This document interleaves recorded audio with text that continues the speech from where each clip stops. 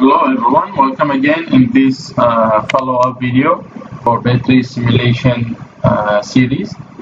Uh, in this video we will use a pulse load to discharge our rechargeable battery.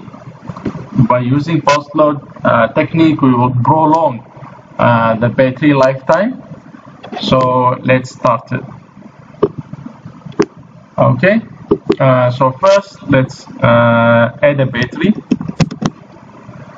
which is our source of energy.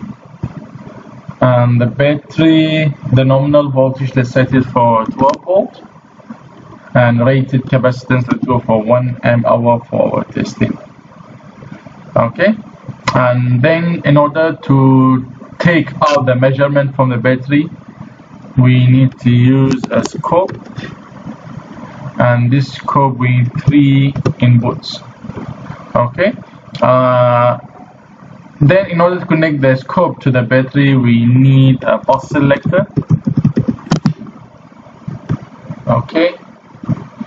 And this, sorry, this bus selector, we have to connect it to here. Then from here we can read the three measurements, which is the state of charge, battery current, and battery voltage. These two signals, we can just remove it. Okay now we connect our scope to here. Okay. Now we need the load. Uh, for the load we use a parallel uh, RLC branch. Okay. And for the load we need to use a resistive load R with resistance of let's go for 100 ohm. Okay so first of all let's connect directly the resistor to the battery. Let's see the characteristics first. Uh, sorry let's um, okay no problem. So let's go for layout. We choose three measurements so we can see all the details. Yes okay. So first of all we directly connect the load. We'll continuously connect the load to the battery as we can see here.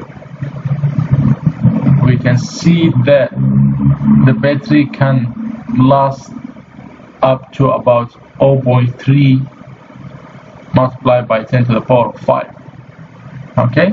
So now when we connect a pulse generator to to to to trigger the load trigger the load to the battery then we expand we expect that the battery lifetime will be um, prolonged. So first we need ideal switch. Okay and the ideal switch for the snubber resistor we need it to be infinity so will not drain our battery the no need measurement. Okay now we open the circuit and we use the battery uh, sorry we use the the switch to connect the load and we use a pulse generator to trigger the load on and off. Uh, let's go for a period of one second so every one second we'll be connecting the load. And let's see now. So this is our old measurement whereby when was the load was actually connected to the battery. So now when we run again let's see the improvement. And we can see that the current now is pulsing pulsing like this because of the switch. Okay so now we can see that the battery can last almost double double of the nominal lifetime. Before that was about 0.3 now 0.6 and all that because of the switching. We can see here the current actually is switching not continuously draining the current from the battery. Okay so even further can prolong the battery lifetime by uh, increasing the periods let's say if we go to two second now the battery even will be improved or the battery lifetime will be improved further. Okay?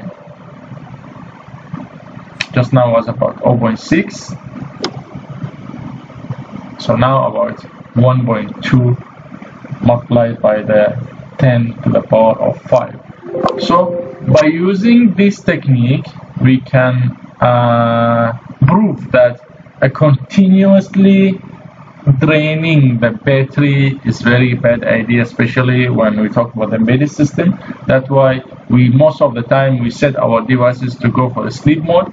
So in this sleep mode we can save the the battery uh, charge. For example here we can see this is the sleep mode and it will be possible to connect our to connect the load to the battery so it can do the function of the embedded system, for example, read the temperature, transmit the data, or whatever the functionality of the load, then it will go to sleep again to prolong the, the battery lifetime instead of continuously discharging the battery.